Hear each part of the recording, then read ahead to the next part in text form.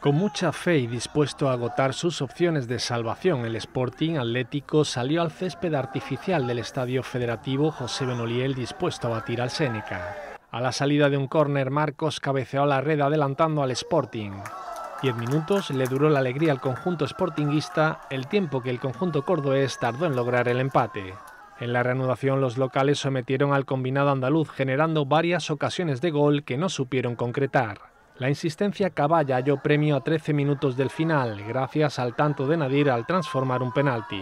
Una victoria que invita a soñar a los de Bucicri que vienen mostrándose bastante fiables en casa, pero con la asignatura pendiente de puntuar a domicilio.